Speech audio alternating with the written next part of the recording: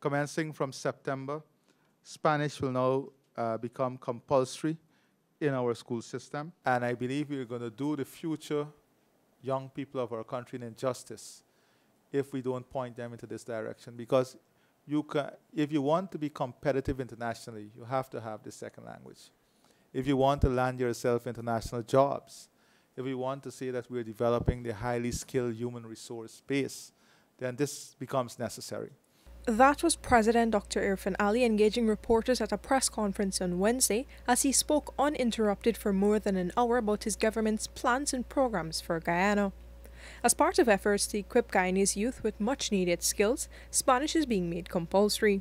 President Ali says training in this language would be extended to members of the cabinet and possibly the wider population. And I'm hoping that not only will the school implement this, but the private sector.